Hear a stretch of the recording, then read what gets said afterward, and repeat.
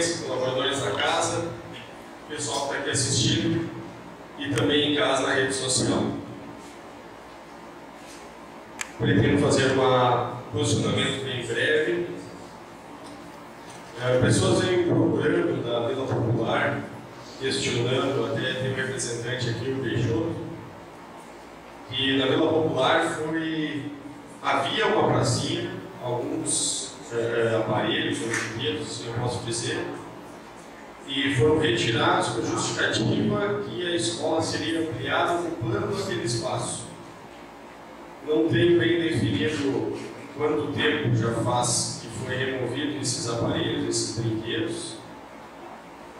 Com certeza mais de dois meses. E a escola também não teve nenhum aumento. O pessoal pediu cadê a pracinha?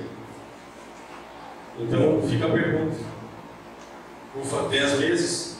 Em torno de 10 meses então. Vou procurar daqui a pouco fazer um vídeo de informação, alguma coisa desse tipo para a próxima sessão.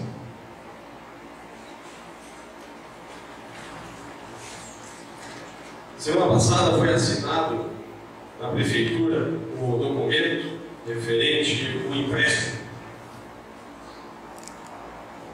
Dois sentimentos de alegria, que agora vai sair uma porção de ruas, ou pelo menos essa é a promessa, e também anseio na questão dessa conta precisa ser paga.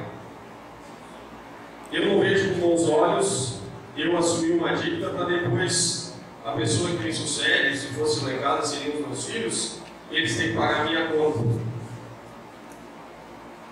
Eu acho que tem que ter muito cuidado nesses quesitos de utilizar dinheiro. Mas, você que está escutando, se você recebeu uma promessa durante a campanha, com aquela frase que eu escutei bastante das pessoas, que o primeiro lugar que a máquina ia arrancar ia ser na tua rua, quem sabe agora isso acontece.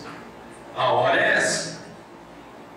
Vai até aquela pessoa ou aquelas pessoas que te prometeram e cobra essa pessoa. Porque promessa é dívida.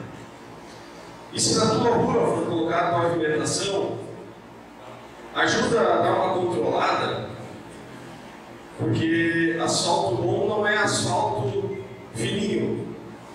Existe uma certa grossura.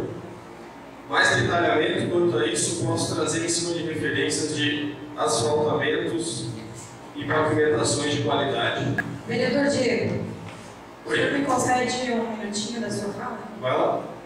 Ah, eu queria também, sobre o assunto, fazer um gancho aqui, não vou me manifestar hoje, mas preciso dizer que na semana passada me até soou estranho quando a gente recebeu a notícia de que seria assinado esse contrato, porque o projeto autorizando esse financiamento de 15 milhões de reais, ele foi, aprovado por todos nós vereadores, aqui na Câmara, por todos não, pela grande maioria, passado, em fevereiro. Então, um ano e um mês após a aprovação desse projeto, o contrato sendo assinado. Eu não entendo e até estou buscando conhecer o porquê dessa demora, se é tamanha burocracia, mas são essas as esses empecilhos da administração pública que não podem acontecer e eles têm que ser, uh, sim, retirados, deve ser agilizado e deve sim existir uma forma de agilizar, porque um ano esperando para assinar um contrato de financiamento tem alguma coisa errada. Então, que fique esse questionamento, e vou atrás disso também, mas que fique questionamento também para os meus colegas vereadores, para que a gente possa buscar essa informação e não deixar com, com que isso aconteça nem nesse mandato, muito menos nos anos que ainda virão pela frente do nosso município. Obrigada. Obrigado, Kelly. Questão da indicação número 11, feita pelos colegas vereadores.